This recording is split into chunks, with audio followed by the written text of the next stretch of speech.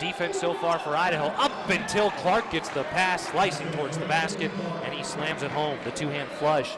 Goes up for the jumper just outside of the paint. It's no good. Great offensive rebound. Mitchell comes down with it and gets the putback. James again gives it to Welage. Turnaround jumper. Makes it. Welage. Yeah, what a touch. The shot clock. He's between the circles. He'll take the three. It's on its way and that is good. Third. Straightaway look, Welage starts to drive, sealed off by McCurchin. Good defense, puts up an off-balance shot, and it goes.